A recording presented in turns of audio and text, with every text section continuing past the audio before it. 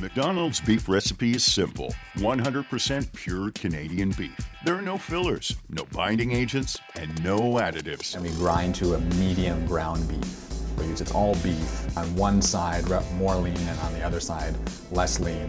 Grind it, mix it, and run it through a final grinder. The only thing we add to our burgers is salt and pepper at the restaurant.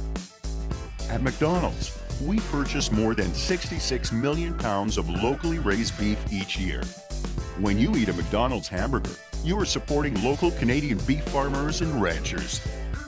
Our safety and quality standards are rigorous, meeting and exceeding those required by the Canadian Food Inspection Agency. By the time a Big Mac ends up in a customer's hands, 40 different quality and safety checks were completed at our beef supplier alone. So anything that runs through this plant has already met all of the same requirements that you would get your beef in at a retail market.